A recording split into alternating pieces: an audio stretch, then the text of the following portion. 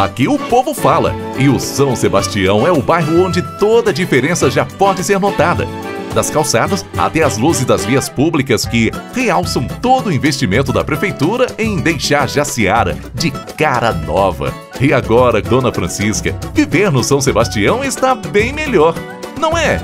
E a cidade está bem limpa, está bem melhor. Fez o asfalto, também está fazendo. Eu estou gostando. Iluminação, calçadas, asfalto novo, sinalização, tudo perfeito. Maravilha. Prefeitura, excelente trabalho. É isso mesmo, Erivelton. O bairro está 100% concluído e o cidadão aproveita feliz. E aí, Erivelton?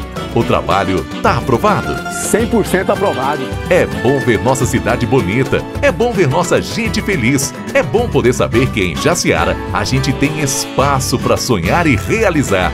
Prefeitura de Jaciara. Atitude com sensibilidade.